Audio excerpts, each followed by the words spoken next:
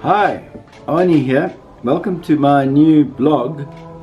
I'm going to be taking you through some of the best craft beers in South Africa over the next couple of weeks. We'll explore and taste a hell of a lot of great beer. Beer like Drifter, the Scallywag IPA.